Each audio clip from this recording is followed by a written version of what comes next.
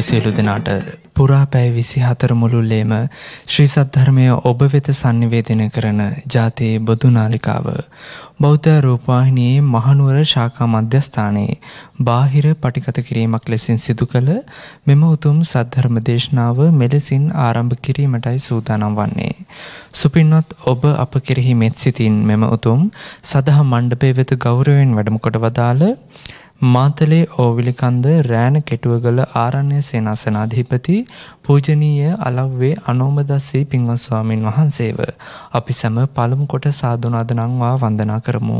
සාදු සාදු සාදු පින්වත්නි මෙම උතුම් වූ සද්ධර්ම දේශනාව වෙනුවෙන් තම සැදැහැති දායකත්වය ගැන කටයුතු කරනු ලබන්නේ ඕවිලිකන්ද මාතලේ පදිංචි සුමිත් ධර්මවර්ධන මහතා ඇතුළු ඥාති පින්වත් පිරිස විසිනි. එසේනම් ඔබ අප කෙරෙහි මෙත් සිතින් මෙම උතුම් සද්ධර්ම දේශනාව ආරම්භ කිරීමට ගෞරවනීය ස්වාමින් වහන්සේට සාදු නාද නංවා ආරාධනා කරමු. අවසරයි ස්වාමින් වහන්ස. සාදු සාදු සාදු සමන්ත චක්කවාලේසු අත්‍රා ගච්ඡන්තු දේවතා සද්ධම්මං මුනි රාජස්ස සුනන්තු සග්ග මොක්ඛදං ධම්ම ශවන කාලෝ අයං භදන්තා ධම්ම ශවන කාලෝ අයං භදන්තා ධම්ම ශවන කාලෝ අයං භදන්තා නමෝ තස්ස භගවතු අරහතෝ සම්මා සම්බුද්දස්ස. නමෝ තස්ස භගවතු අරහතෝ සම්මා සම්බුද්දස්ස. නමෝ තස්ස භගවතු අරහතෝ සම්මා සම්බුද්දස්ස. ශ්‍රද්ධාවන්ත පින්වතුනි බෞද්ධ රූපවාහිනිය ඔස්සේ ලෝකේ ධර්මය අහන අයට ධර්ම දානයක් සිද්ධ කරන්නට දෙන්නේ වදේමඩ ඕවිලි කන්ද පදිංචි සුමිත් ධර්මවර්ධන මහත්මයා ඇතුළු පවුලේ ඥාතීන් විසින් මීට වසර 4කට පෙර මිය පරලයන්ට යෙදුන ඒජී ධර්මවර්ධන පියාණන්ට පින් අනුමෝදන් කිරීම කියන කාරණාව මුල් කරගෙන. පින්තුනි මේ ලෝකයේ සියලු දෙනාටම මුහුණ දෙන්න වෙන දෙයක් තමයි මරණය කියලා කියන්නේ. මේ මරණයට මුහුණ දෙන සියලු දෙනාම මරණය එනකොට හඬනවා, වැළපෙනවා, පසුතැවෙනවා. මේක තමයි ස්වභාවය. හැබැයි මේ හඬන වැළපෙන පසුතැවෙන මේ ජීවිතය නැති කරන දහමක් බුදුරන් වහන්සේ පෙන්වා දීලා තියෙනවා. දැන් අද වර්තමානයේ බලන්න වර්තමානයේ වෙනකොට අපට මේ මරණය කියන එකට අමතරව ජීවිතය ගැට ගහ ගන්නත් පුදුමාකාර දුකක් විඳින්න වෙලා තියෙනවා. අපි කවුරුත් හිතන්නේ නැහැ අපි ඇයි මෙහිම මේ දුකක් විඳින්නේ කියලා. අපි මෙහෙම දුකක් විඳින්නේ පින්වතුනි සංසාරයක් කියන ගමනක් තියෙන නිසා. මේ සංසාර ගමනක් තිබුණ නැතිනම් අපට මෙවැනි දුකකට මුහුණ දෙන්න සිද්ධ වෙන්නේ නැහැ. නමුත් අපි හිතන්නේ බාහිර ප්‍රශ්නයක් කියලා. හොඳට හිතලා බලන්න. අද ගොඩාක් අය කල්පනා කරන දේ තමයි මේ බාහිර සමාජයේ තමයි ප්‍රශ්නේ. බාහිර අය හරියට මේ දේවල් කරා නම් ප්‍රශ්නයක් වෙන්නේ නැහැ. ඔහොම හිතන්නේ නැද්ද? සමාජය හිතන්නේ ඕක. හැබැයි පින්වතුනි සැබෑම කාරණාව නම් අපි සංසාරයේ ගමන් කරනවා කියන තැනදී ආපු ගමනක් තමයි manuss ලෝකය කියලා කියන්නේ. මෙන්න manuss ලෝකෙට ආපු තැනදී ඒත් අපට මුහුණ දෙන්න තියෙන්නේ ජාති ජරා මරණ කියන දුකම තමයි. වෙන දෙයක් නෙමෙයි. එතකොට එහෙනම් මෙවැනි ගමනක් අපට ලැබිලා තියෙද්දී අපි මොකද කරන්නේ? බාහිර තියෙන දෙයක් ප්‍රශ්න කියලා හිතාගෙන බාහිරට ඇඟිල්ල දික් කරමින් අපි අපේ ජීවිතේ අකුසල් ඇති කරගන්නවා. තව තවත් අපේ ජීවිතේ අපි අකුසල් ඇති කරගන්නවා. මේක තමයි අපි අද ගොඩාක් වෙලාවට කරන්නේ. දැන් අනුන්ගේ අඩුපාඩුවක් අනුන්ගේ වැරද්දක් දකිනකොට අපට තේරෙන්නේ මොකද්ද?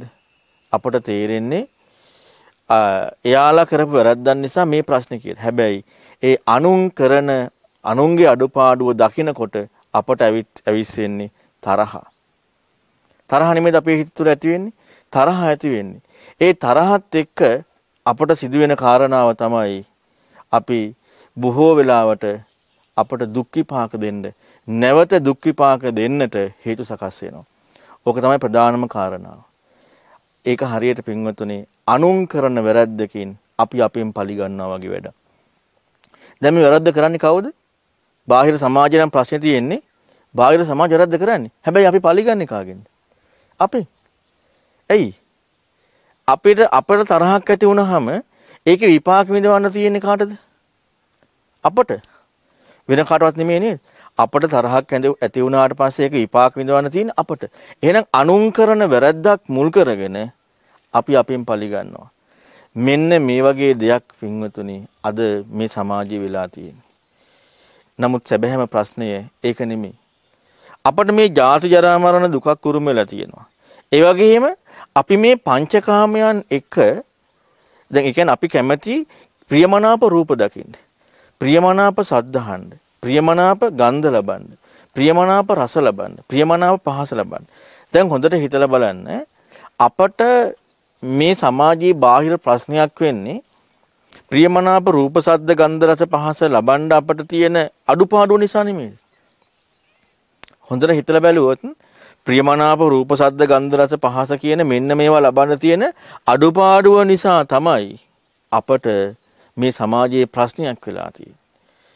මේවට කියන්නේ පින්වතුනි පංචකාමයන් කියලා. පංචකාමයන් කියලා කියන්නේ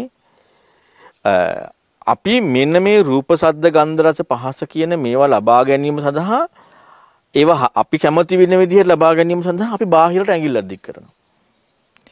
බුදුරන් වහන්සේ පංචකාමයන් වලට උපමාවක් පෙන්නනවා. මේ කාමිය කියන කාරණාව දැන් පොඩ්ඩක් හිතලා බලන්නකෝ අපි අපේ පැත්තෙන් අරගෙන මේ අපි මේ විඳවපු දේවල් විඳලා ඉවරනට පස්සේ දැන් ඒව නැහැ නේද? දැන් ආයෙත් ඒව ලබන්න හොයනවා ආයෙත් ඒව විඳවලා ඉවරනට පස්සේ ආයෙත් නැහැ. මේක හරියට මෙන්න මේ වගේ කියලා දෙනවා. කුෂ්ඨයක් කසමින් ලබන ආස්වාදයක් වගේ. ඒ කියන්නේ කුෂ්ඨයක් කසමින් ලබන ආස්වාදයක් කියන්නේ දැන් ඔන්න හිතලා බලන්න ඔබට ඔන්න කුෂ්ඨයක් හැදුණා කියලා හිතන්න. කුෂ්ඨයක් හැදුනහම ඒ කුෂ්ඨය මොකද වෙන්නේ? කුෂ්ඨය කසනවා. නැද්ද? කුෂ්ඨයක් හැදුනහම කුෂ්ඨය කසනවා. කුෂ්ඨය නිසා අපට තියෙන්නේ සැනසෙල්ලක් නැහැනේ. පුදුමාකාර අපහසුතාවයක් තියෙනවා. හැබැයි කුෂ්ඨය කසනකොට පුදුමාකාර සැපයක් නේ. කසලා ඉවරනට පස්සේ මොකද වෙන්නේ? කුෂ්ඨේ වන වෙනවා. ආය කසනකොට ආය සැපයි. කසලා ඉවරනට පස්සේ ආය වැඩි වෙනවා. ඒ විදිහට කුෂ්ඨයේ කසමින් ආස්වාදයේ භුක්ති විඳිමින් හිටියොත් කුෂ්ඨය අඩු වෙයිද කුෂ්ඨය වැඩි වෙයිද? කුෂ්ඨය වැඩි වෙනවා. හැබැයි කුෂ්ඨයේ කසන් නැතුව බෙහෙත් කරොත් හරියනවනේ. අපි උනාට අර අස්වසිල්ලක් ලබා ගන්න මොකද කරන්නේ කුෂ්ඨය කසනවා. මෙන්න මේ කුෂ්ඨයක් කසමින් ලබන ආස්වාදය වගේ කියනවා රූප සද්ද ගන්ධ රස පහස මෙන්න මේවා මුල් කරගෙන ලබන ආස්වාදය රූප සද්ද ගන්ධ රස පහස කියන මෙන්න මේවා මුල් කරගෙන ලබන ආස්වාදය මේ කුෂ්ඨයේ කසමින් ලබන ආස්වාදය වගේ. එතකොට අපි ජීවත් වෙනකොට අපි මේ බාහිර සමාජයේ ප්‍රශ්නයක් හැටියට බාහිර සමාජයට ඇඟිල්ලක් දික් කරන්නේ මේ රූප සද්ද ගන්ධ රස පහස කියන ඒවා ලබන්න අපහසුකම් නිසා නෙමෙයි. ඒ අපහසුකම නිසා. ඒතර අපි බාහිරට ඇඟිල්ලක් දික් කරනවා. මෙයාලගේ ප්‍රශ්න, මෙයාලගේ ප්‍රශ්න. ඒ කියන්නේ අපි මේ පංචකාමයන් ලබන්නේ බාහිර ප්‍රශ්නයක් කියලා දකිනවා. පංචකාමයේ කියලා කියන්නේ එතකොට මොකද්ද? කුෂ්ඨයක් අසමින් ලබන ආස්වාදය වගේ. දැන් මේක කරන්ද අපි අපේ ජීවිතය තුළ දේශයත් අවශ්‍ය ගන්නවා.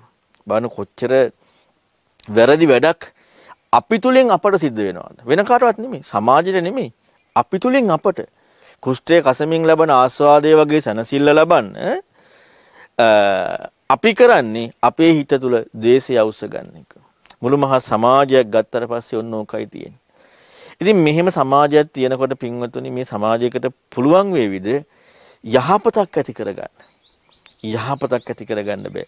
බුදුරන් වහන්සේ පෙන්නනවා මේ පංචකාමයන් කියලා කියන්නේ හරියට මඩ වගුරක් වගේ කියනවා. දැන් මීහරකෙක් මඩ වගුරක ලගිනකොට උට ආස්වාදයක් තියෙනවනේ. දැන් අපට ඒක පේනකොට මොකද්ද පේන්නේ? මීහරක නිසානේ එහෙම වෙන්නේ නේ. ඒතර බුදුරන් වහන්සේ පංචකාමයන්ට පෙන්නේ මඩ වගුරක් කියලා. අපි පංචකාමයන් තුල ওই විදිහ ආස්වාදයක් ලබන්නම නම් අපේ ජීවිතේ යොමු වෙලා තියෙන්නේ අපිත් කොයි වගේ જાතියක්ද? මීහරක් වගේ જાතියක්. ඇයි අපිත් මේ මෙන්න මේ පංචකාමයන් ඔස්සේ පුදුමාකාර විදිහට ජීවිතය අවශ්‍ය ගන්නවා. සම්පූර්ණයෙන් කරන්නේ ජීවිතය අවශ්‍ය ගන්නවා. මෙහෙම ජීවිතය අවශ්‍යගෙන පුදුමාකාර දුකක් නැවත නැවතක් දුකක් ලබන්න අපි අපි තුලින් හේතු කාරණා සකස් කරගන්නවා. ඉතින් ඒක නිසා හොඳට හිතන්න අපි මේ කරන කාරණාව අපි මේ හිතන විදිහ මේ සමාජයේ ප්‍රශ්නයක් කියලා අපි මේ දකින විදිය සම්පූර්ණයෙන්ම පින්වතුනි අපි මේ අපි සුදන වෙන්න හදන්නේ. අපි සුදන වෙන්න. ඒ කියන්නේ අපි සුදන වෙන්න කියන්නේ අපි හොඳ අය.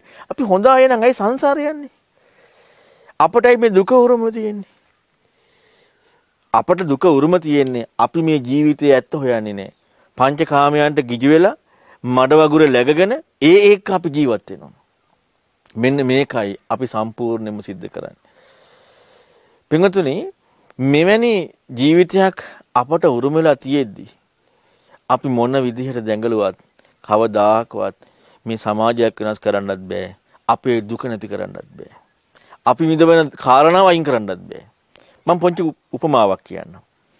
ඔයාලා කවුරු හරි ඉන්නවද රත්තරන් මැණික් වගේ දේවල් අරගෙන ගිහිල්ලා වැසිකිලි වලක දාන ලිපාස්සේ තියෙන ඔය වගේ කවුරු හරි ඉන්නවද?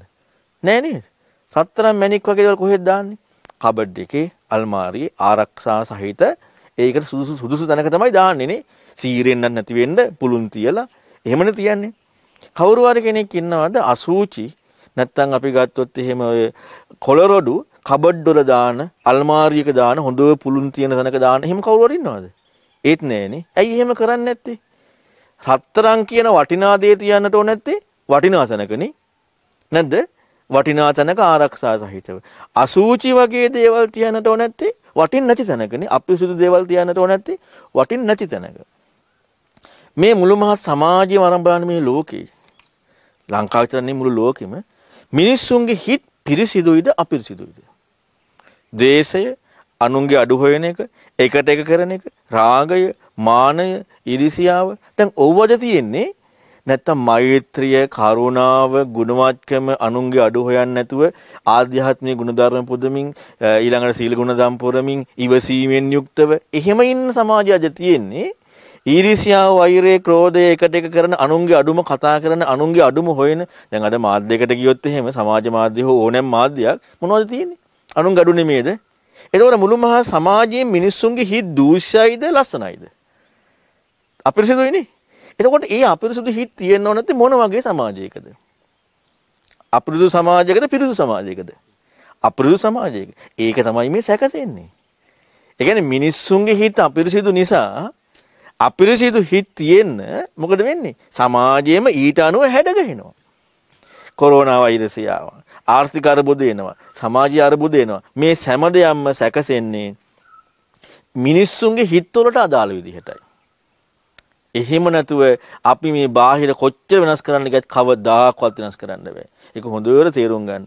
බාහිර සමාජයේ කිසි දවසක වෙනස් කරන්න බෑ. අපේ හිත් පිරිසුදු වෙන්නේ නැතුව. මුළු මහත් සමාජයකම මිනිස්සුන්ගේ හිත් පිරිසිදු වුණා නම් තරහ අනුන්ගේ අඩු හොයන එක නැති කරලා ඊළඟට මේ හැම අකුසලයක්ම දුරු කරපු පිරිසිදු හිත් තියෙන සමාජයක් ඇති වුණා නම් මුළු මහත් සමාජයේ මිනිස්සුන්ට ලෙඩ රෝග අඩු වෙලා ඊළඟට ආර්ථික ප්‍රශ්න නැති වෙලා හරිම පහසුවෙන් ජීවත් වෙන්න පුළුවන්. ධාතු ධාතු එකතු වෙන්නේ. කියන්නේ එක සම කියන්නේ යම් ස්වභාවයක් තියෙනවාද පිරිසිදු හෝ අපිරිසිදු ඒකට අදාළ පරිසරයක් සැකසෙනවාමයි.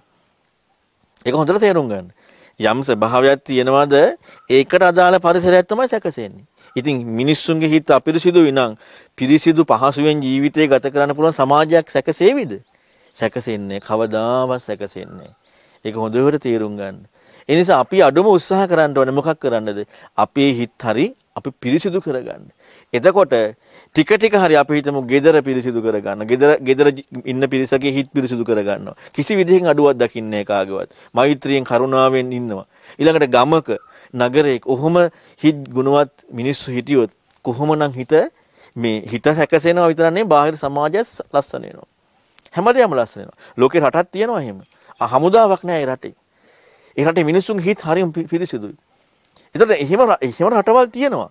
එතකොට දේශගුණ විපර්යාසනේ ආර්ථික ප්‍රශ්නනේ සමාජීය ප්‍රශ්නනේ කිසිම ප්‍රශ්නයක් නැහැ. අඩුම තරමේ ඒ වරදක් කරාට පස්සේ දඬුවම් කරන්න පවා ඊටාම අල්ප විදිහට. එහෙම වරදවල් කරන කට්ටිය ඊටාම අල්පයි. එතකොට හමුදාවක් නේද රටක් තියෙනවා කියන්නේ. ඇයි මේ මිනිස්සුන්ගේ හිත් පිරිසිදුයි. එවැනි මිනිස්සු ඉන්න සමාජයකට බුදුරන් වහන්සේගේ ධර්මය දෙන්න හරි පහසුයි. දැන් අපේ සමාජය ගත්තොත් හොඳට හිතලා බලන්න. ඕන මාධ්‍යයකට ගිහිල්ලා පුවත්පතක් ඊළඟට ගුවන් විදුලියක් රේඩියෝ එකක් සමාජ මාධ්‍යයක් අනුන්ගේ අඩු කියන එක නෙමෙයිද තියෙන්නේ. ඉතින් මිනිස්සුන්ගේ හිත කොහොමද පිරිසිදු වෙන්නේ? අනුන්ගේ අඩු හොයනවා කියන්නේ පින්වතුන් තව කෙනෙක්ගේ වැරද්දක් අපි කතා කරනවා කියන්නේ මෙන්න මේ වගේ වැඩක්. අපි අසූචි ගොඩක් ළඟට ගිහිල්ලා ඉරට්ටකින් හාර හාර කියනවා පුදුම ගඳක් නෙමේ අසූචි ටික. එහෙම කරන්නේ මෝඩ මිනිස්සු නෙමේද? මෝඩ මිනිස්සු නේ. අසූචි ගොඩක් ළඟට ගිහිල්ලා අසූචි ගොඩ හාර හාර කියනවා මේ අසූචි ගොඩ නම් පුදුමාකාර ගඳක්. ඔන්න ඔය වගේ තමයි පින්වතුනි. අපි අද මාධ්‍යයකට ගියාට පස්සේ අපට තියෙන්නේ තනිකරම අනුන්ගේ අඩු, අනුන්ගේ වැරදි. ඒක අපි රසවත් කර කර අපිත් අඩුව හොයනවනේ. අර අසූචි කොට හාර හාර ගදයි කියනවා.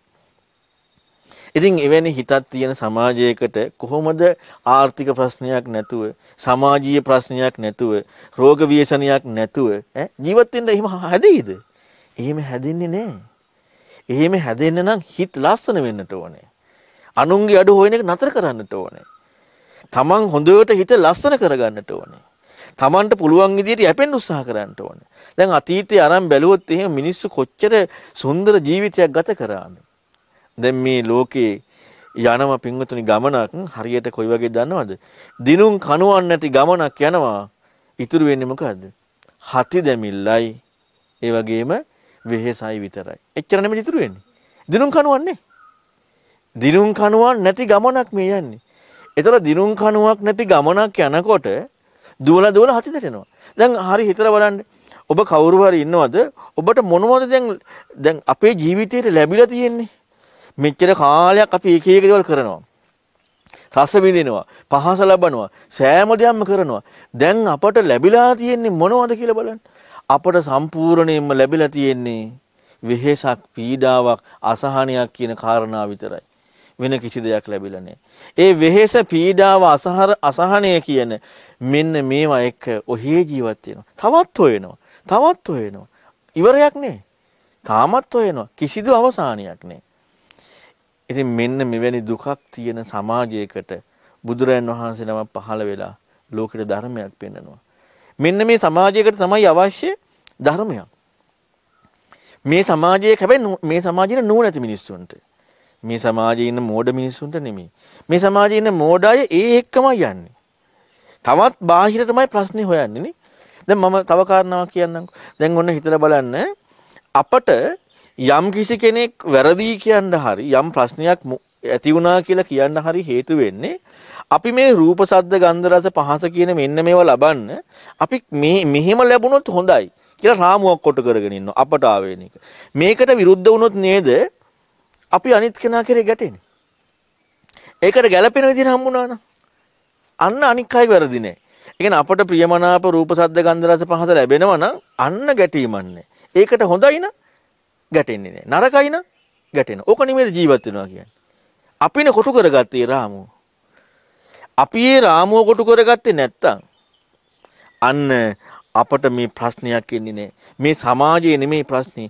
අපි එකිනෙක කෙනා කොටු කරගත්ත රාමුව වෙන කිසිදු දෙයක් නෙමෙයි. අපි තනි තනියම කොටු කරගත්ත රාමුවක් තියෙනවා. මේ කාමයන් එක්ක. මේක දැන් ඔන්න අපි හිතමු අපට ඔන්න හොඳට මේ මේ මේ මේ විදිහට අපට පහසුව ලැබෙන්නේ නැහැ. දැන් අපි කැමති මෙහෙම පහසුවක් ලැබෙනවට කියලා කොටු කරගත්තා. ඒක නොලැබෙනකොට ගැටෙනවනේ. අරයගේ වැරදි අරයගේ අඩුපාඩු. දැන් ප්‍රශ්නේ තියෙන්නේ අපි මෙහෙම ලැබෙන්න ඕනේ කියලා කොටු කරගත්ත නිසා. එහෙම කොටු කරගත්තේ නැත්නම් අපි අන්න ප්‍රශ්නේ නැහැ. මෙන්න මේ අපට කොටු කරගත්ත රාමුවක් තුල අපි රිංගගෙන ඉන්න නිසා තමයි අපට මේ ප්‍රශ්නේ තියෙන්නේ. වෙන කිසිදු කාරණාවක් නිසා නෙමෙයි අපි අපට ආවේනික රාමුවක් කොටු කරගෙන. මේ සමාජය කියන්නේ ඕකමයි. මම මේකට උපමාවක් කියන්නම්. දැන් ඔන්න හිතන්න මම මගේ අම්මා දකිනවා. මම මගේ අම්මා දකිනකොට මට පේන්නේ කවුද? අම්මනේ. මට මගේ අම්මා දකින්නකොට මට පේන්නේ අම්මා. තාත්තා අම්මා දකින්නකොට පේන්නේ අම්මද? නෑ. කවුද පේන්නේ? භාර්යාවනේ. තාත්තගේ දෙමව්පියෝ අම්මා දකින්න අම්මගේ දෙමව්පියෝ අම්මා දකින්නකොට කවුද පේන්නේ? අම්මවද? නෑනේ. දුව. දැන් අම්මා නම් ඉස්සරහා හිටියේ. ඉතින් ඔක්කොටම අම්මා පේන්න එපේ. දැන් අම්මා නම් හිටියේ ඉස්සරහා මට පෙනුනේ අම්මා නම් ඒ ඉන්නේ අම්මා නම් ඉතින් ඔක්කොටම අම්මා ඉන්න එපේ. ඔක්කොටම අම්මා නෑ. මට අම්මා වුණා, තාත්තට භාර්යාව වුණා, අම්මගේ දෙමව්පියන්ට දුව වුණා. ඇයි එහෙම වුනේ? තම තමන් කොටු කරගත්ත රාමුව නිසා නෙමෙයිද? මම කොටු කරගත්ත රාමුවට අනුව ඒ පේන්නේ කවුද? අම්මා. තාත්තා කොටු කරගත්ත රාමුවට අනුව ඒ පේන්නේ කවුද? භාර්යාව. දෙමව්පිය කොටු කරගත්ත රාමුවට අනුව ඒ පේන්නේ කවුද? දුව. ඒතර ප්‍රශ්නේ තියෙන්නේ මොකද්ද පින්වතුනි? අපි කොටු කරගත්ත රාමුව නෙමෙයිද? මේ ලෝකේ හැම එකකටම ප්‍රශ්නේ තියෙන්නේ අපි කොටු කරගත්ත රාමුව. මේ අපි කොටු කරගත්ත රාමුව ඉක්මවන්න පුළුවන් නම් ප්‍රශ්නේ නැහැ. බාහිර ප්‍රශ්නයක් කොහොමත් නැහැ. බාහිර ප්‍රශ්නයක් එන්නේ අපි යම් තැනක ඇති තැනනේ. අපි කොතන හරි ඉන්නවනම් අපි රාමුවක් කොටු කරගෙන අපි එතන ඉන්නවනම් ඒකට විරුද්ධ වෙන තැනදී බාහිර ප්‍රශ්නයක් තියෙනවා. මේ බුදුරයන් වහන්සේගේ ධර්මයක් මේ ලෝකයා හොයන්නේ නැති නිසා තමයි පින්වතුනි මේ ලෝකේ ප්‍රශ්න තියෙන්නේ. අර්බුද තියෙන්නේ, දුක තියෙන්නේ, පීඩාව තියෙන්නේ, අසහනිය තියෙන්නේ. මේ ලෝකේ මිනිස්සු බුදුරයන් වහන්සේ පෙන්නපු ඇත්ත ධර්මයේ බුදුරන් වහන්සේ පෙන්වුවේ පින්වතුනි මේ නිකන් අලුත් දෙයක් නෙමෙයි. සත්‍ය ධර්මය අපට පේන්නේ නැති අපි දන්නේ නැති අපට වැටහෙන්නේ නැති අපි මෝඩකමින් යුක්තව ඉන්න සත්‍ය ධර්මයයි බුදුරන් වහන්සේ පෙන්වන්නේ. ඔක අපි හිතන්නේ නැහැ. අපි ඔක හිතන්නේ නැතුව අපි හැම වෙලෙම සමාජ අර්බුදයක ගොදුරක් බවට පත් වෙනවා. නැද්ද? අපි මේ සමාජ ගොදුර ඇයි සමාජ ගොදුරක් බවට පත් වෙන්නේ? සමාජ ගොදුරක් බවට පත් වෙන්නේ අපි අඥාන නිසා. අපි මෝඩ නිසා. අපි සත්‍ය හොයන්නේ නැති නිසා. අපි ඥානාන්විතයි නම් අපි මේ ප්‍රශ්නේ දැනගත්තා නම් සමාජ අර්බුදයකට අපිව ගොදුරු කරන්න බෑ. දැන් වෙන්නේ මොකද? අපි සමාජ අර්බුදේ ගොදුරක් කරලා නැද්ද? හොඳට හිතලා බලන්න. සමාජ අර්බුදේ ගොදුරක් කියලානේ. ඒ ගොදුර නිසා අපි රාග දේශ මොහ වර්ධනය කරගෙන අකුසල් එක්ක ඉන්නේ නැද්ද? දැන් ඒක අපට සකස් වෙන පරිසරය මොකද ආයේ දුකක්මනේ. ඉතින් මේක ගැලවෙන්න පුළුවන් නේද? කවදාවත් ගැලවෙන්න බෑ. අපි ඥානාන්විත වෙනකන් අපි හිතන්න පෙළමෙනකන් අපි සත්‍ය හොයන්න පෙළමෙනකන් කවදාවත් මේ ප්‍රශ්نين ගැලවෙන්න බෑ මේ ප්‍රශ්නේ හිම්මමයි මේකේ තියෙන අවාසනාව පින්වතුනි අපට මෙච්චර සුන්දර දහමක් ලැබිලා තියෙද්දී අන්න ඒකයි අවාසනාව. මෙච්චර සුන්දර දහමක් ජීවිතය ගැන හිතන්න මෙච්චර සුන්දර දහමක් ලැබිලා තියෙද්දි අපි සමාජයේ මේ අර්බුදයට ගොදුරු වෙලාද නැද්ද? මෙච්චර සුන්දර දහමක් තියෙද්දි විනාගම් වලයි නම් කමන්නේ කිය හැකි. ඈ වෙන පිරිස් නම් කමන්නේ කිය හැකි. අපට මේ ජීවිතය ගැන හිතන්න ඇත්ත හොයන්න මෙච්චර සුන්දර දහමක් තියෙනවා. එහෙම තියෙද්දී අපි මේ සමාජයේ අරබුදයට ගොදුරු වෙලා සමාජයන රැල්ලටම ගිහිල්ලා අපිත් අරයාගේ අඩු මෙයාගේ අඩු මේව කතා කර කර දේශයේ වපුරමින් රාගයේ වපුරමින් ඊර්ෂ්‍යාව වපුරමින් මෙහිම ජීවිතයක් ගත කරලා තවත් දුක් විඳමින් දුක්ඛිත සත්‍යෙම යන්නේ නැද්ද දුක්ඛිත සත්‍යෙම යනවා. ඒ කියන්නේ තිරිසන් තිරිසන් සතාගේ මිනිස්යාගේ වෙනසක් තියෙනට ඕනනේ. මිනිස්යා කියලා කියන්නේ මනස උසස් පිරිසක්. දැන් ඔන්න බලන්න මම තිරිසනා ගැන කියලා දෙන්නම්කෝ. තිරිසනාගේ ජීවිතේ තමන්ගේ වර්ගය අබෝ කරන එක. තිරිසනාගේ ජීවිතේ ඉන්න තැනක් හොයාගන්න එක. තිරිසනාගේ ජීවිතේ මොනවා හරි ක්‍රමයකට ඛණ්ඩ හොයාගන්න නැත්නම් අර පංචකාමයන් පිනවන්න යමක් හොයන එකනේ. තිරිසනාගේ ජීවිතේ කියන්නේ රූප ශබ්ද ගන්ධ රස පහස කියන මෙන්න මේවා ලබා ගන්න ඕන විදිහට මොනවා හරි වැඩක් එයා එයාට අදාළ විදිහට තිරසන් ජීවිතේට අදාළ විදිහට කරනවා. දැන් අපි කරන්නේ මොකද්ද? අපි කරනවා අපේ වර්ගය බෝ කරන එක. අපි කරනවා අපට හොඳට ඉන්න තැනක් හදාගන්න එක. අපි කරනවා ඒ විදිහටම පංචකාමයන් ලබා ගන්න පුංචි කාලේ ඉඳලා ඉගෙනගෙන මරණකම්ම සල්ලි හම්බ කරලා පංචකාමයන් ලබා ගන්න අඩපිළිලා. දැන් ඒ තිරිසනා කියන්නේ තිරිසනා කරන විදිය වෙනස්. තිරිසනාගේ ජීවිතේ ගත කරන විදිහයි මිනිස්යාගේ ජීවිතය ගත කරන විදිහ අතර වෙනසක් නැහැ තිරිසනා ගත කරන්නේත් ඛණ්ඩ හොයන්න, අඳින්න හොයන්න, ඉන්ද්‍රගණක් හොයන්න, සමන්ගේ වර්ගය බෝ කරන්න ඔය කටයුතු. මිනිස්සයා කරන්නේත් ඕක. ඉතින් ඇයි මිනිස්ස කියන්නේ? මිනිස්ස කියන්නේ මනස උසස් જાතියකට. අපි හොයන්නට ඕනේ ඊට එහා දෙයක්. සාමාන්‍ය මේ මේ මේ මේ සාමාන්‍ය තිරිසන් ජීවිතයක යෙදෙන කෘත්‍යයට එහා ගිහිල්ලා අනික මනුස්ස විතරක් නෙමෙයි අපි. අපි මනුස්ස කෙනෙකුට අපට ලැබිලා තියෙනවා ජීවිතයේ ඇත්ත හොයන බුදුරජාන් වහන්සේ නමකගේ ධර්මයකුත්. මේ දෙකම තියෙද්දී අපි පින්වතුනි ජීවිතය ඇත්ත හොයන්නේ නැතුව සමාජ අර්බුදයට ගොදුරු වෙලා තවත් යනවා නම් අපි තරම් අවාසනාවන්ත ඉන්නවද? අපි තරම් අවාසනාවන්තයෝ නැහැ. පුදුම අවාසනාවන්තකමක් තියෙනවා. එච්චර හිතක් දියුණු කරන්න එච්චර සත්‍යයකට මුහුණ දෙන්න පුළුවන් දෙයක් අපට ලැබිලා තියෙද්දී අපි මේ කාරණා පිළිබඳව හොයන්නේ නැත්තේ. පින්වතුනි අපි කරන වැඩේ හරියට මෙන්න මේ වගේ වැඩක්. මේ අපි ජීවිතය ඇත්ත හොයන්නේ නැති නිසා අපි කරන වැඩේ. අපිම හිර කූඩුවක් හදා ගන්නවා. අපිම හිර කූඩුවක් හදාගෙන අපි මේකට රිංගගෙන අපි මේක ලොක් කරලා අපිම යතුරු විසික් කරන හොයාගන්න බැරි වෙන නැත්තම් විසික් කරන නැත්තම් විනාශ කළා දානවා. අපි දැන් හොයනවා හිර කූඩුවෙන් පයින්න. ඔන්න ඔය වැඩ ඔය වගේ වැඩක් අපි කරන්නේ. අපිම හිර කූඩුව හදාගෙන අපිම හිර කූඩුව ඇතුළට ගිහිල්ලා අපිම හිර කූඩුවේ රිංගලා අපිම හිර කූඩුව ලොක් කරගෙන අපිම යතුරු විසික් කරන හොයාගන්න බැරි වෙන්න අපි දැන් එළියට පයින්න දඟලනවා. මෙහෙම ජීවිතයක් තියෙන්නේ. අපි මේක හරියට දැක්කනම් ඒ කියන්නේ අපි අපේ රාමුවේ ප්‍රශ්නේ අපි දැක්කනම් අපි කොටු කරගත්ත රාමුවේ ප්‍රශ්නේ අපි දැක්කනම් අපි ජීවිතේ ඇත්ත හොයන්න යමු වෙලා ওই සත්‍ය දැකීමෙන් අපට පුළුවන් මේ සංසාර ගමනින්ම ඉක්මවන්න. අපි මේ తాවකාලික නවාතැන්පලකට ආපු මනුස්ස ලෝකෙ මේ කල්ප කෝටි ගණන් මේ සංසාරය කියන්නේ. తాවකාලික නවාතැන්පලකට ඇවිදිලා මෙතන වෙනස් කරන්න හදනවා. මෙතන ආපු කෘත්‍ය කරගන්නට ඕනේ. කරතවි කරගන්නට ඕනේ. දැන් ඉතල බලන්න ඔයාලා ඔන්න අපි හිතන්න කොහේ හරි වන්දනාවේ ගියා කියලා. වන්දනාවේ ගිහිල්ලා කොහේ හරි ඔන්න විවේක තැනක නතර වුණා. එදා මේ කියන්නේ විවේක ගන්න කොහේ හරි වන්දනා කරගන්න නතර වුණා විශ්‍රාම ශාලාවක. නතර වෙන්නේ මොකටද? වන්දනා කරගන්න. ඉතින් නතර වුණාට පස්සේ අපි එතන අයිති මිනිස්සුන්ට ගිහිල්ලා කියනවාද මේ මේ මෙතන ටැප් එක වැරදි. මේක වෙනස් කරන්න. මෙතන මේ ටයිල් අල්ලලා තියෙනවා වැරදි. දැන් ඔහොම කියනවාද කියලා? නෑ නේද? අපි ගිහිල්ලා එතෙන්ද ගිහිල්ලා එතන වැඩේ කරගෙන අපි කිය කාරණාව කරන අහපව වෙනවනේ. එතන වෙනස් කරන්න යන්නේ නෑනේ. අපි මනුස්ස ලෝකේ මිනිස්සෙක් කියලා උපදින්නේ හිතන්න පුළුවන් ජීවිතයක් ලැබලා උපදින්නේ මේ తాවකාලික නවාතැන් පොලකට ආවේ. අපි මෙතනින් ප්‍රයෝජන ගන්නට ඕනේ. මනස උසස් මිනිස්සයා බුදුරන් වහන්සේගේ ධර්මය මුල් කරගෙන හිත දියුණු කරගන්න උත්සාහ කරන්න ඕනේ. අපි මොකද කරන්නේ? අර නවාතැන් පොල වෙනස් කරන්න දැඟලුවා වගේ මේ නවාතැන් පොලත් වෙනස් කරන්න දඟලනවද නැන්ද? අර කට්ටිය වැරදි. මේ කට්ටිය වැරදි. කරන්නේ නැන්ද? කරනවනේ. ඇයි මේ? මේ පින්වතුනි බුදුරජාණන් වහන්සේගේ ධර්මය පිළිබඳව ජීවිතයේ ඇත්ත පිළිබඳව හොයන්නේ නැතිකම නිසා. ඒ නිසා අපට මේ අවස්ථාවේ උදා වෙලා තියෙනවා.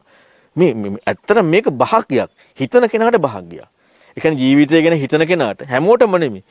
ඒ කියන්නේ මෝඩ කෙනාට නෙමෙයි. ජීවිතය ගැන හිතන කෙනාට මේ ලැබිලා තියෙන අර්බුදය ජීවිතය ගැන හිතන්න අවස්ථාවක්.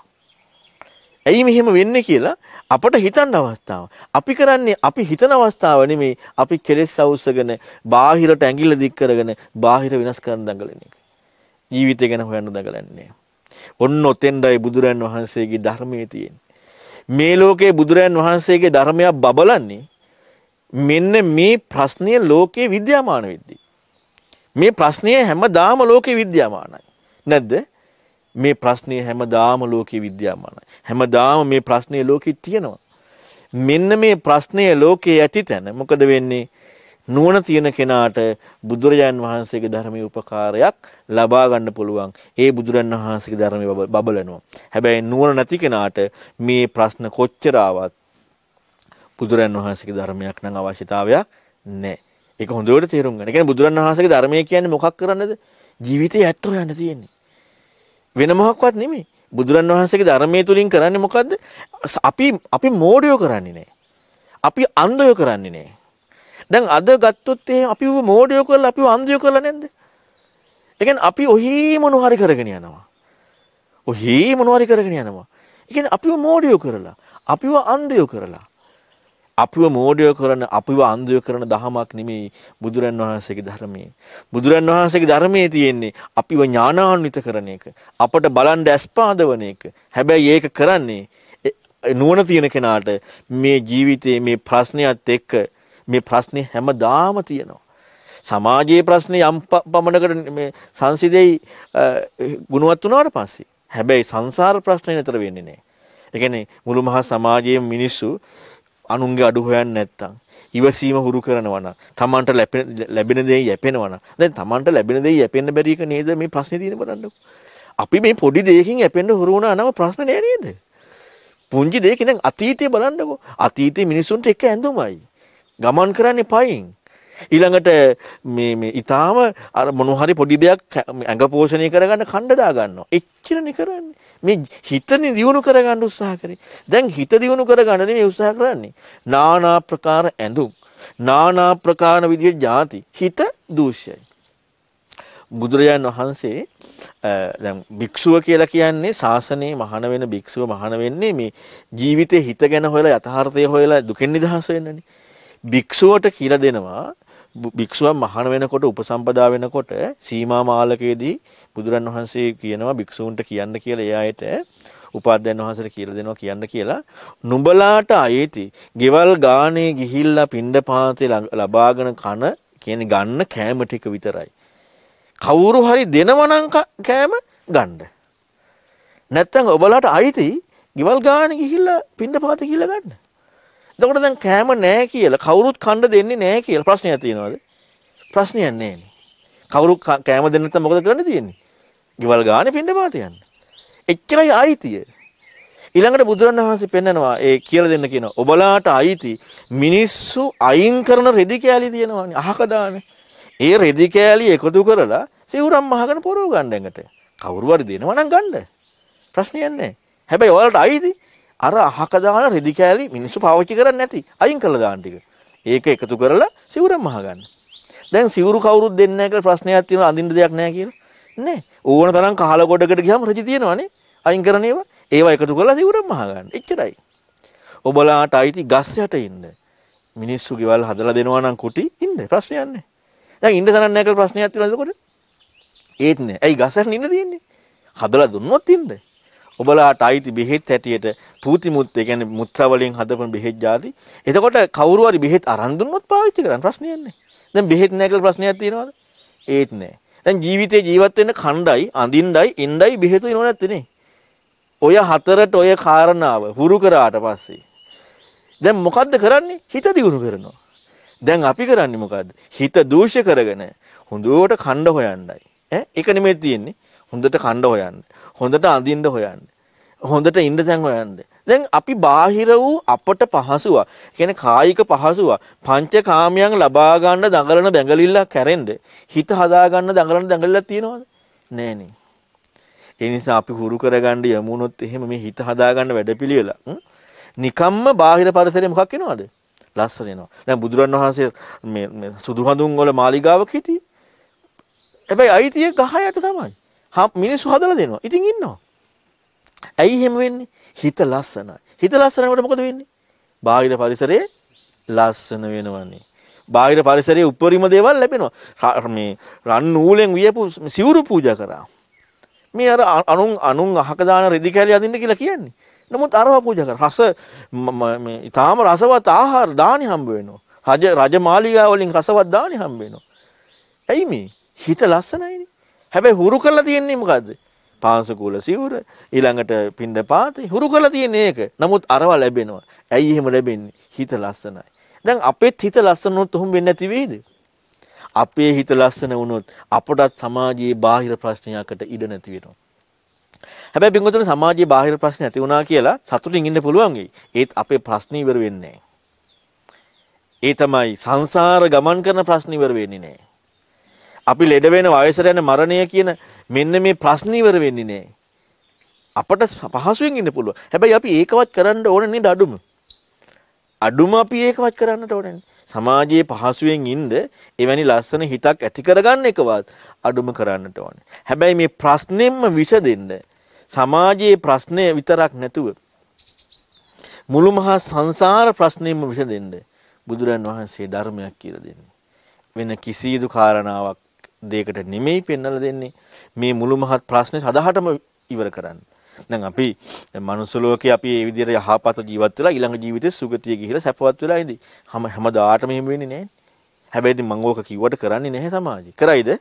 මුළු මහා සමාජයක් කරයිද අපට මේ පොඩි දෙයක් ඇති නේද තරහ ඇවිස්සලා දේශය ඇවිස්සලා ගැටිලා මේ සමාජයේ මිනිස්සු එක් කියන්නේ අපට පොඩ්ඩක් කණ්ඩ නැත්තම් එක වේලක් කණ්ඩ නැත්තම් අපට තියෙන ප්‍රශ්න නැද්ද බුදුරන් වහන්සේ පෙන්වලා දෙනවා මෙන්න මේ උපමාවක් ඒ තමයි දෙන්නෙක් හැවිදිලා අපේ ඇඟ ඈඩ් කරලා කකුල් දෙක ඈඩ් කරලා කීයතකින් ඉරනවා.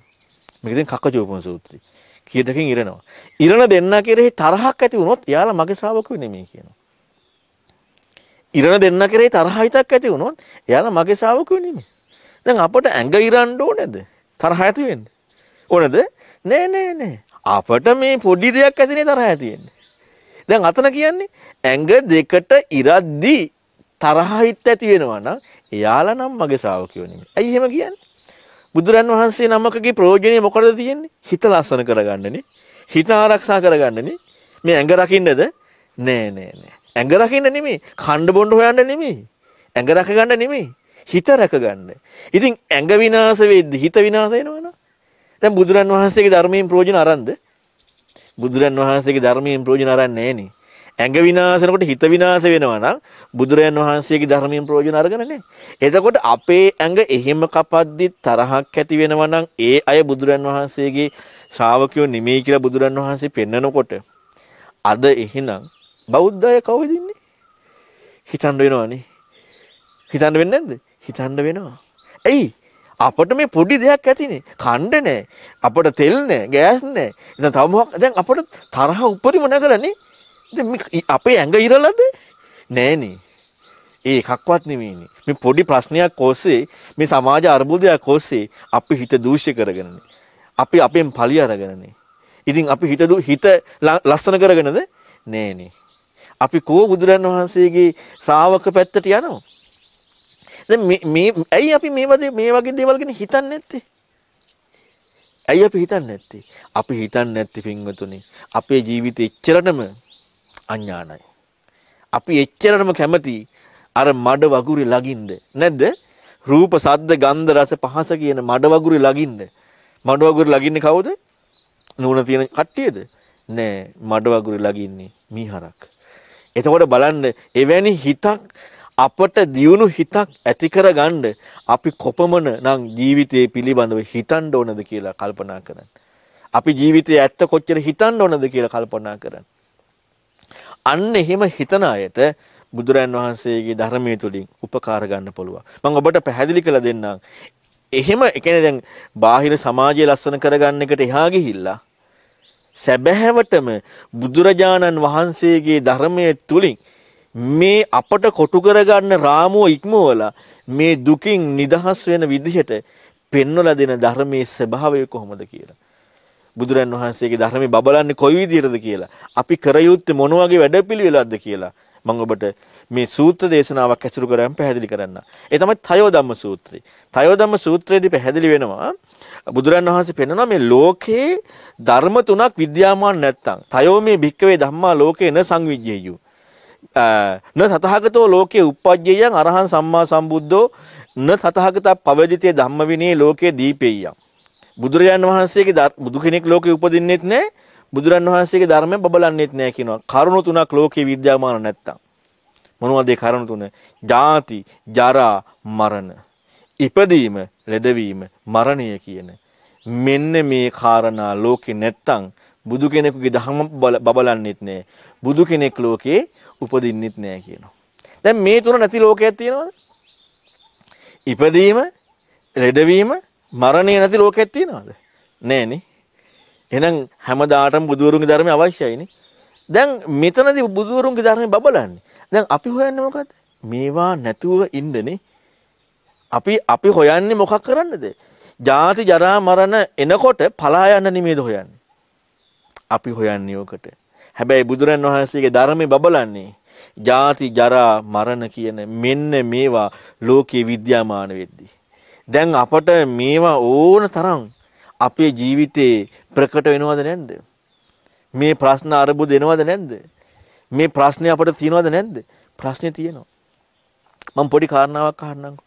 දැන් ඔබට මම මම මෙන්න මේ කාරණාව අහනවා. දැන් අද ගොඩක් වෙලාවට කෙනෙකුට හිතෙන්න පුළුවන් ලෙඩ වෙන්නේ නැති, ලස්සන රූපයක් තියෙන, හොඳ ධනෙ තියෙන, අසනීප නැති තරුණ ජීවිතයකට නම් ප්‍රශ්නයක් නැහැ වගේනේ. ඒ කියන්නේ ලස්සන තරුණ ධනවත් පාහිර ප්‍රශ්න නැති කෙනෙකුට නිකන් ප්‍රශ්න නෑ වගේනේ ලෝකේ. හැබැයි මම ඔබෙන් ප්‍රශ්නයක් අහන්නම්. ඔබ කාට හරි කියන්න පුළුවන්ද මම හෙට මැරෙන්නේ නෑ කියලා. කාට හරි කියන්න පුළුවන්ද මම හෙට මැරෙන්නේ නැහැ. කියන්න පුළුවන්ද කාට හරි? බෑනේ. ඒ කියන්නේ මම හෙට මැරෙන්නේ නැහැ කියලා කියන්න බැරි මං හෙට මැරෙයි කියන එකනේ. ඒක ඇත්තක්ද බොරුවක්ද? මම හෙට මැරෙයි කියන එක ඇත්තක්ද බොරුවක්ද? ඇත්තක් නේ. දැන් මැරෙන්නේ නැහැ කියලා කියන්න බැයි නම් මැරෙනවා කියන එක නේ නේ. මං හෙට මැරෙන්නේ නැහැ කියලා කාටවත් ස්ථිරව කියන්න බෑ කියන මං හෙට මැරෙනවා කියන එකනේ. ඒක ඇත්තනේ. ඔය ඇත්ත කල්පනා කරද්දි ඔබට දැන් එන්නේ දුකද සැපද? අසහනියද සහනියද? ඉතින් ඇත්ත කල්පනා නොකරන එකනේ ප්‍රශ්නේ. නැද්ද? දැන් ඒක ඇත්තද බොරුවක්ද? ඒක ඇත්ත. ඔය ඇත්ත කල්පනා නොකරන එක නෙමෙයිද ප්‍රශ්නේ. ඔය ඇත්ත කල්පනා කරා නම් අපට ඕන පිළිසරණකට යන්න. අපි ඇත්ත කල්පනා කරන්නේ අපි හිත ජීවත් වෙනවා කියලා. අපි අපි හිතන්නේ බොරුවක්ද ඇත්තක්ද? බොරුවන්නේ හිතන්නේ. දැන් අර එහෙම කෙනෙකුටත් ওই ප්‍රශ්නේ තියෙනවද නැද්ද? තරුණ, ලස්සන, ධානිය තියෙන ඒත් ප්‍රශ්නේ තියෙනව නේද? එතකොට එයත් අසරණද නැද්ද? එයත් අසරණයි. අපි හැමෝම අසරණද නැද්ද එහෙනම්? මොකක් එක්කද අසරණ? ඇත්ත එක්ක. අපි එහෙනම් ඉන්නේ ඇත්ත එක්කද බොරු එක්කද? අපි ඉන්නේ තනිකරම බොරු එක්ක. බොරු එක්ක ඉන්න ජීවිතේ වංචනික මායාකාරී අඥානද ඥානාන්විත සත්‍යවාදී නෝනක්කාරද? බොරු එක්ක ඉන්න ජීවිතේ වංචනික අඥාන මායාකාරීනේ. ඉතින් අපේ ජීවත් වෙන්නේ එහෙමනේ. වංචනික මායාකාරී අඥානකමින් ජීවත් වෙන්නේ. ඇත්තට මුහුණ දෙන්නේ නැහනේ. ඇත්තට මුහුණ දුන්නොත් පින්වතුනි අපට පිළිසරණක් අවශ්‍යයි. දැන් හිතලා බලන්න ඕන අපට පිළිකාවක් ඇදුනා. දැන් අපි මේ ඇත්ත පිළිකාව කියලා දැනගත්තොත් අපට දැන් පිළිසරණක් අවශ්‍යද නැද්ද? පිළිසරණක් අවශ්‍යයි. අපි යන්න යමු වෙනවා වෛද්‍යවරයෙක් ළඟට. සරණ යමු වෙනවනේ. ඉතින් මේ ඇත්තට අපි මුහුණ දුන්නොත් අපට පිළිසරණක් ඕනද නැද්ද? අපි වෙන දේවල් හොයයිද? අරයා වැරදි, අරයා වැරදි හොයයිද? නෑනේ. දැන් තව හෙට මැරෙනවා නම් අසරණකම තියෙද්දි මොන අරයාගේ අඩුපාඩුද? මොන ප්‍රශ්නද? පිළිසරණක් ඕනේ. ඔන්න ඔතෙන්ඩයි කාවද සරණ යන්නේ? බුදුරජාණන් වහන්සේ. එතෙක් සරණ යන්නේ නෑ. එතෙක් අපි කියන්නේ මොකද්ද? සයන්නයි රයන්නයි නයන්නයි බිඳුවයි සරණං ගයන්නයි අල්චයන්නයි ඡායන්නයි මියාමි ගච්ඡාමි. වචන ටික නෙමෙයිද කියන්නේ? වචනේ කියනවා එච්චරයි. බුද්ධං සරණං ගච්ඡාමි කියලා වචනේ කියනවා. සැබෑම සරණ යන්නට නම් අපි අසරණ බව සත්‍ය ඔස්සේ අපට දැනෙන්නම ඕනේ. අපි අසරණ බව මේ සත්‍ය ඔස්සේ දැනුනොත් පින්වතුනි කවරදාකවත් අපි මේ පුහු පංචකාමයන් නිසා සමාජ අර්බුද නිසා හිතේ ද්වේෂය අවුස්සගෙන මේ සමාජ අර්බුදයකට ගොදුරු වෙලා අපි ඉඳීවිද? ඉඳින්නේ නැහැ. අපි සත්‍යවාදී නැත්තම් අපි වංචනිකයි නම් අපි මායාකාරී නම් අපි මේ සමාජ අර්බුදයත් එක්ක ගොදුරලා ඉන්නවා. අපි ඥානාන්විතයි නම් අපි සත්‍යවාදී නම් අපි කවදාවත් එතින් යමු වෙන්නේ අපි අපි ගැන හොයනවා. අපි පිරිසරණකට යමු වෙනවා. අපි බුදුරන් වහන්සේගේ ධර්මය හොයන්න යමු වෙනවා. අන්න බුදුරන් වහන්සේගේ ධර්මයේ තුල පෙන්වලා දීලා තියෙනවා. ජාති ජරා මරණ මෙන්න මේකෙන් නිදහස් වෙන්නට කරුණු තුනක් ප්‍රහාණය කරන්නට ඕනේ. දැන් ඔන්න දැන් මේ ප්‍රශ්නේ දැනිච්ච කෙනෙක් මේ ප්‍රශ්නේ තේරිච්ච කෙනෙක් සරණකට යමු වුණාම අන්න බුදුරන් වහන්සේ පෙන්ලා දෙනවා. මොකද්ද පෙන්ලා දෙන්නේ? ජාති ජරා මරණ කියන මෙන්න මේ තුන ප්‍රහාණය කරන්නට නම් එයා ප්‍රහාණය කරන්නට ඕනේ රාගයයි දේශයයි මෝහයයි. රාග දේශ ප්‍රහාණය රාග දේශ මෝහ ප්‍රහාණය කරන්නේ නැතුව ජාති ජරා මරණ ප්‍රහාණය කරන්න බෑ. එතකොට එහෙනම් පින්වතුනි ජාති ජරා මරණ කියන මෙන්න මේ කාරණාවන් ප්‍රහාණය කිරීමකට යොමු වෙන්න. ඒ කියන්නේ ඒවා ප්‍රහාණයක් තියෙනවනේ.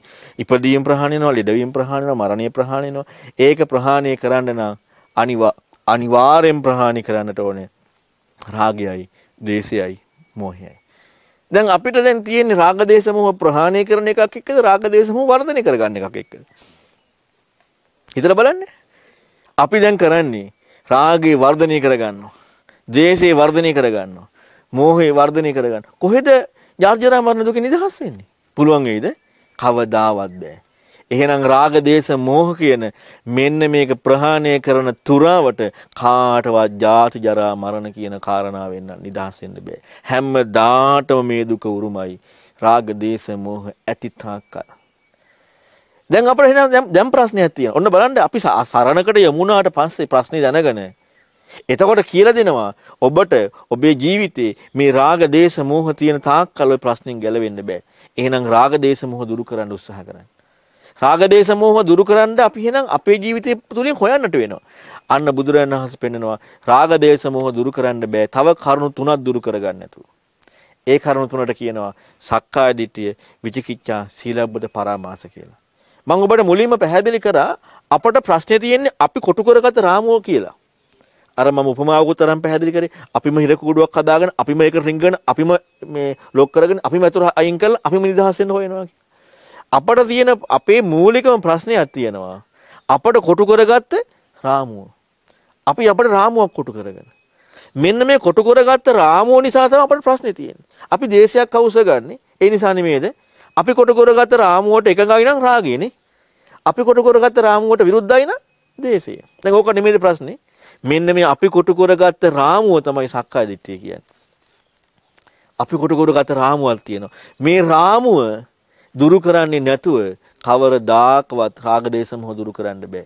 ජාති ජරා මරණයෙන් නිදහස් වෙන්න බෑ. එහෙනම් මෙන්න මේ අපි කොටු කරගත්ත රාමුව ඉක්මනට ඕන. ඒ රාමුව එක්ක බැඳිච්ච තව කරුණු ටිකක් තියෙනවා. විචිකිච්ඡාවයි සීලබ්බත පරාමාසයි. ඒ කියන්නේ අපිට හැම වෙලෙම මොනවා හරි ජීවිතේ වන සැකයක් ඇති වෙන්නේ. ඒ වගේම තමයි අපි විවිධාකාර දේවල් හුරු කරන්නේ මේ දුකෙන් නිදහස් වෙන්න කියලා මේ අපි කොටු කරගත්ත රාමුව නිසා. ඒ කියන්නේ අපි දැන් අපි රාමුවක් කොටු කරගෙන මට මේ දුක එපා කියලා අපි මොනවාරි කරනවානේ. සිල් රකින්නවා විවිධ දේවල් කරනවානේ. දැන් මේ කොටු කරගත්ත රාමුව අයින් වුණා නම් අන්න අපි අර කරන කරුණු ටිකත් අයින් වෙලා යනවා. ඒකත් නිකන් කරන්න බෑ. ඒ සක්කාය දිට්ඨි විචිකිච්ඡා සීලබ්බත පරාමාස කියන මෙන්න මේ කරුණු තුන ප්‍රහාණය වෙන්නට නම් යෝනිසෝ මනසිකාරය අයෝනිසෝ මනසිකාරය ප්‍රහාණය කරන්නට ඕනේ. ඒ වගේම වැරදිමක සේවනීය ප්‍රහාණය කරන්නට ඕනේ. ඒ වගේම හිතෙහි හැකිලිම ප්‍රහාණය කරන්නට ඕනේ. දැන් අපි මෙනෙහි කරන්නේ හරි විදිහටද වැරදි විදිහටද ජීවිතේ? හොඳට හිතලා බලන්න. අපි මෙනෙහි කරන්නේ ජීවිතේ හරි විදිහටද වැරදි විදිහටද? වැරදි විදිහටනේ. දැන් මම ඔබගෙන්ම ඇහුවේ අපි මේ සත්‍යෙට මුහුණ දීලාද මේ ජීවිතය ගැන හිතන්නේ නැත්නම් අපි නිකන් ඔහේ යනවද? ඔහේ යනවනේ සත්‍යෙට මුහුණ දෙන්නේ නැහැ. එහෙනම් අපි ජීවිතය ගැන මෙනෙහි කරන්නේ හරි විදිහට නෙමෙයි වැරදි විදිහට. හැම වෙලෙම මෙනෙහි කරන්නේ වැරදි විදිහට. හොඳට හිතලා බලන්න මුළු ජීවිතේ ජීවත් වෙනවා කියලා කියන්නේම අපි තනි කරම ගත කරන්නේ වැරදි විදිහට මෙනෙහි කිරීම. එතකොට අපි සේවනය කරන්නේ හරි මාර්ගයේද වැරදි මාර්ගයේද? වැරදි මාර්ගයනේ. හරි මාර්ගයක් නෙවෙයි වැරදි මාර්ගය. ඒතකොට මේ වැරදි මාර්ගයක් සේවනය කරද්දී හරි විදිහේ දෙයක් එක්ක යමු වෙන්න හිත යමු වෙයිද? හිත ඒකට හැකිලෙයිද? හිත ඒකට හැකිලෙනවනේ. තනි කරම හිත ඒකට හැකිලෙනවා. එතකොට බලන්න පින්වතුනි එහෙනම් අපිට අපේ රාමුව කොටු කරගන්න එක අයින් කරන්නට නම් අපි කළ යුතුයි මොකද්ද? අපි වැරදි විදිහට මෙනෙහි කරන එක අයින් වෙන්නට ඕනේ. වැරදි මාර්ග ශ්‍රේවණය කරනවා කියන එක අයින් වෙන්නට ඕනේ. ඒ විතරක් නෙමෙයි අපි තුලින් අයින් වෙන්නට ඕනේ මේ හරි විදිහට මෙනෙහි කරන දැන් අපි කොච්චර කීවත් මේ ඒකට යොමු වෙන්න හිත හැකිල්ල නැද්ද බලන්න. මේ ඇත්තට මුහුණ දෙන හිත හැකිල්ල නැද්ද බලන්නකො. හිත හැකිලිලානේ. ඇයි අර පැත්තටම යොමු වෙලා. අන්න ඒ හිත හැකිලිච්ච බව දුරු කරන්නට ඕනේ. හිත හැකිලිච්ච බව වැරදි මාර්ග සේවනයේ වැරදි විදිහට මෙනෙහි කරන මෙන්න මේක ප්‍රහාණය කරන්න ඕනේ. හැබැයි මේක ප්‍රහාණය කරන්න බෑ තවත් කරුණු තුනක් ප්‍රහාණය කරන්න නැතුව. ඒ තමයි මුලා සිහිය. අපි මේ සිහි මුලා වෙලා ඔහේ ඉන්නවා. දැන් ඒ නිසා නෙමෙයි සමාජයේ අපි මේ මේවත් එක්ක අහුවෙලා යන්නේ සිහි මුලා වෙලා. සිහි මුලාව දුරු කරන්නට ඕනේ. ඊළඟට නුවණ නැති බව. අපි මේ හිතන්නේ ඒක දුරු කරන්නට ඕනේ නුවණ නැති බව. ඒ වගේම තමයි හිත විසිරිලා හුවෝ ගාලානේ. නැද්ද? හිත තන්නේ කර විසිරලා තියෙන්නේ. හැම තැනම විසිරලා තියෙන්නේ. මෙන්න මේක දුරු කරන්නට ඕනේ. මොකද්ද දුරු කරන්න තියෙන්නේ? සිහිමුලා බව, නුවණ නැතිකම, ඒ වගේම හිතේ විසිරීම. මේක දුරු කරන තාකල් අපට බෑ මේ ධර්ම මාර්ගයකට යමු වෙන්න. මේ තුන දුරු කරන්නත් බුදුරන් වහන්සේ පෙන්නනවා තව කරුණු තුනක් දුරු කරන්නට ඕනේ. ඒ තමයි ආර්ය ආර්යයන්ගේ දැකීම දැකීමට අකමැත්ත. අද මේ හොඳට හිතලා බලන්නකො මේ ආර්යයන් දකින්න ඒ දැක්මට යන්න කැමතිද නැත්නම් නිකන් ඔහේ තමන්ගේ තාමත් මේ පංචකාමයන් භුක්ති විඳින්න ඒව හොයන්න යන්න කැමතිද? තියෙන්නේ ඒක නෙමෙයිද? සල්ලි හොයන්න හොයන්න හොයන්න මේ මේ ප්‍රශ්නේ එක්කම යන්න කැමතිනේ. ආර්යයන්ගේ දැක්මට දැන් කියන ආර්ය ආර්යයන් දැකීමට යොමු වෙන්න එපා ජීවිතේට සත්‍යයක් හම්බෙන්න. ආර්යයන්ගේ දැක්මට තියෙන අකමැත්ත. ඒ වගේම ඒ ධර්මය අහන්න අකමැති. ඒ ධර්මය අහන්න කන් යොමු කරන්නේ නැහැ. දැන් දැන් ජීවිතය ගැන මේවා කියනකොට මොකද වෙන්නේ? ලෝකේ කැමති අපිට කොහොමද හාමුදුරුවනේ කණ්ඩ බොන්න නැතුව මේ දැන් කවදාකවත් හොඳට හිතලා බලන්න ජීවිතේ ඇත්තක් හොයන කාරණාවට වඩා තියෙන්නේ මේ හොඳට කණ්ඩ බොන්න දෙනවා නම් ඒක ෂෝ. ඒකනේ හොයන්නේ. එහෙනම් ආර්යයන්ගේ දැක්මට අකමැත්ත. ඒ වගේම ආර්ය ධර්මයට තියෙන අකමැත්ත.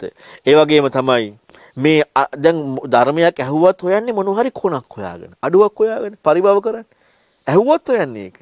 ඔන්න ඔය කරුණු තුන දුරු කරන්නේ නැතුව ඉතින් ධර්මයක් අහන්න බැරි වෙනවා. ඒ ධර්මයකට යමු වෙන්න බැරි වෙනවා. එතකොට ඔය කාරණා තුන දුරු කර ගන්නට නම් එයාට එයා ළඟ තියෙන්නට ඕනේ උද්දච්චය. උද්දච්චකම නිසා නේද ඔක වෙන්නේ? උඩගුකම උද්දච්චය දුරු කරන්නට ඕනේ. ඒක දුරු කරන්න තුව බෑ. ඊළඟට අසංවරය කිසිම සංවරයක් නැහැ. ඒ අසංවරකම දුරු කරන්නට ඕනේ. ඒ වගේම දුස්සීල හික්මීමක් ඇත්තේම නැහැ. හික්මීමක් නැතිකම සංවරයක් නැතිකම උද්දච්චකම කියන මෙන්න මේක දුරු කරන්න නැතුව ඒ දහමක් අහන්න කවදාවත් යමු වෙන්නේ නැහැ. ඒ පහ ඒ තුන දුරු කරගන්න බෑ. ඒ තුන දුරු කරගන්න නම් මෙන්න මේ කාරණා තුන දුරු කරගන්නට ඕන. ඒ තමයි කෙනෙක් කෙරෙහි ශ්‍රද්ධාවක් ඇති වෙන්නේ. පැහැදීමක් ඇති වෙන්නේ නැති එක. ඒක දුරු කරන්නට ඕනේ. දැන් අපහැදීමෙන් ඉන්නවනම් අපහැදීම අයින් කරන්නට ඕනේ. ඒ වගේම තමයි යම් වචනයක් කියනවනම් ඒ කරුණ තේරුම් ගන්න පුළුවන්කමක් තියෙන්නට ඕනේනේ. ඒක තේරුම් ගන්න බැරිකම. දැන් මොකක් හරි කොට පස්සේ වැරදි විදිහකටමයි ගන්නෙ. අන්නේ තේරුම් ගන්න බැරිකම. ඒකත් දුරු කරන්නට ඕන. නැත්නම් කියලා දෙන විදිහක් නැහැනේ. කියලා දෙන දේ තේරුම් ගන්න හැකියාව නැත්නම් කියලා දෙන්න බෑ. ඒක දුරු කරන්නට ඕනේ බැරිකම. ඊළඟට කුසීතකම මෙන්න මේ කාරණා තුනත් දුරු කරන්නට ඕනේ. ඒ කාරණා තුන දුරු කර ගන්නට නම් ආදරය නැතිකම. ඒ කියන්නේ අර ලෙන්ගතුකමක් නැති එක. ඒක ඒ වගේම තමයි අකීකරුකම පාප මිත්‍ර සේවනය කියන මෙන්න මේ කාරණා තුන දුරු කරන්නට ඕනේ. පවිතු ඇසුර නිසා කුසි ඊළඟට අකීකරු නිසා ආදර නැතිකම නිසා තමයි ඔක්කොම වෙන්නේ. ඒ ඒ තුන දුරු කරන්නට නම් පව් කරන්න ලැජ්ජා බය නැතිකම තියෙනවනේ. ඒව දුරු කරන්නට ඕනේ. ප්‍රමාදය දුරු කරන්නට ඕනේ. ප්‍රමාදයයි පව් කරන්න ලැජ්ජා බයයි දුරු කරොත් තමයි අන්නේ කෙනාටයි පුළුවන්කම තියෙන්නේ මේ ප්‍රතිපදාව ක්‍රමානුකූලව ඉස්සරහට යන්න. ආ ඒ කියන්නේ මේ ප්‍රශ්නේ ගැලවෙන්න පුළුවන්කමක් ලැබෙන්නේ. ධර්මයේ එක්ක ජීවිතේ සත්‍ය හොයන්න පුළුවන්කමක් ලැබෙන්නේ. ඉතින් ඒ නිසා මේ ලැබුණු අවස්ථාවේදී බුදුරන් වහන්සේගේ දහම තුල තියෙන සැබෑම සත්‍යයට යොමු වෙන්න, සත්‍යවාදී වෙන්න, වංචනික වෙන්න එපා, මායාකාරී වෙන්න එපා. ජීවිතය ඇත්ත හොයන්න. එතකොට අපට සමාජ අරුබුදේ කිසිදු ප්‍රශ්නයක් නැහැ. අපට ආධ්‍යාත්මික සැනසෙල්ලක් තියෙනවා. ඒ සැනසෙල්ල තුළ අපි බුදුරන් වහන්සේ එක්ක බුදුරන් වහන්සේගේ ධර්මයේ එක්ක අපට ජීවිතය ගත කරන්න පුළුවන්. ඉතින් ඒ සඳහා ඔබට මේ උතුම් ධර්ම දේශනාවත් උපකාරයක් කරගන්නවා කියලා අදිෂ්ඨානයක් ඇති කරගන්න. ඉතින් අද දවසේදී මේ උතුම් ධර්ම දේශනාව දායකත්වයෙන් කටයුතු කරන්නේ 10න් 2 වදේ මඩ ඔයිලි කන්ද මාතලේ ලිපිනෙහි පදිංචි සුමිත් ධර්මවර්ධන ඇතුළු පවුලේ ඥාතිත මිත්‍රාදීන් සියලු දෙනා විසින් මූලික අරමුණ තමයි 2022යි 4යි 7 දිනට මිය පරලොව ගොස් වසර 7ක් සම්පූර්ණ වන ඒජී ධර්මවර්ධන පියාණන්ට පින් අනුමෝදන් කිරීමට. ඒ වගේම තමයි වසර 28කට පෙර මියගිය මාණ්ඩලික සැරයන් අශෝක ධර්මවර්ධන සහෝදරයාට වසර 46කට පෙර මියගිය ඊජී ධර්මදාස පියාණන්ට වසර 7කට පෙර අපවත් වදාළ ධම්මදින්නා සිල්මෑණියන්ට පින් අනුමෝදන් කිරීම වසර 6කට පෙර මියගිය ඊජී ජයසේන සහෝදරයාට වසර ජයසේකර සීයාට සහ ආච්චීට ආච්චීටත් බන්දුවා සීයාටත් මුසිලිනා ආච්චීටත් ඇතුළු දෙපාර්ශවයේ මියගිය සියලු ඥාතීන්ට රණවිරුවන්ට පිම්පෙමනවීම එවගේම සෙත් පාර්ථනා කරනවා සුජීවත්ව වාසය කරන එජ්ජී ධර්මවතී මෑණියන්ට නිදුක් නිරෝගී හා දීර්ඝායුෂ ප්‍රාර්ථනා කරනවා. 2022 4යි 7 දින උපන්දිනය සමරන දිනිති ඉසාරා ධර්මවර්ධන දියණියට ආශිර්වාද කරනවා. ඒ වගේම දේශකයන් වහන්සේටත් රැණ කෙටුවකල ආරණ්‍ය සේනාසනයේ වාසය කරන ස්වාමින් වහන්සේලාටත් සියලු භික්ෂූන් වහන්සේලාට භික්ෂුණීන් වහන්සේලාට නිදුක් නිරෝගී භව හා ඉක්මන් භවයකදී නිවන් අවබෝධ කර ගැනීම පිණිස මේ සියලු පුණ්‍ය ධර්මයන් හේතු වාසනා වේවායි කියලා ප්‍රාර්ථනා කරනවා. ඉතින් මේ රැස් කරගත සියලු පින් පළමුවෙන් දෙවියෝ අනුමෝදන් වෙත්වා දෙවියෝද උතුම් නිවනින් සැනසෙත්වා.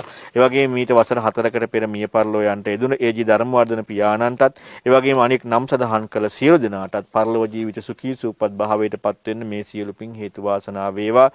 ඒ වගේම මේ රැස් කර ගන්නට දෙන සියලු පුණ්‍ය ධර්මයන් දායකත්වයේ දරන වදේමඩ ඔවිලිකන්ද මාතලේ පදිංචි සුමිත් ධර්මවර්ධන ඇතුළු පවුලේ සියලු දෙනාටත් මේ සියලු පින් අනුමෝදන් වෙත්වා. ඒ වගේම ඥාතිත මිත්‍රාදීන් ඒ වගේම දායක වූ සෑම දෙනාටමත් ධර්ම ශ්‍රවණය කළ ඔබ සැමටත් උතුම් දහමින් සැනසෙන්නට මේ සියලු පින් හේතු වාසනා වේවා. ඒ වගේම මේ සුජීවත්ව සිටින එජ්ජී ධර්මවතී මෑණියන්ටත් ඒ වගේම 4යි 7 වෙනි දින උපන්දිනයේ දින දිනති සාරා ධර්මවදන දියණියටත් ඒ ඒ වගේම ශ්‍රවණය කළ ඔබ සමටත් උතුම් දහමින් සැනසෙන්නට මේ සියලු පුණ්‍ය ධර්මයන් හේතු වාසනා වේවා. ආකාසට්ඨහා ච බුම්මට්ඨා දේවා නාග මහිද්దికා පුඤ්ඤන්තං අනුමෝදිත්වා චිරං රක්ඛන්තු ශාසනං ආකාසට්ඨා ච බුම්මට්ඨා දේවා නාග මහිද්దికා පුඤ්ඤන්තං අනුමෝදිත්වා චිරං රක්ඛන්තු දේශනං ආකාසට්ඨා ච බුම්මට්ඨා දේවා නාග මහිද්దికා පුඤ්ඤන්තං අනුමෝදිත්වා චිරං රක්ඛන්තු මං පරන්ති। සාධු සාධු සාධු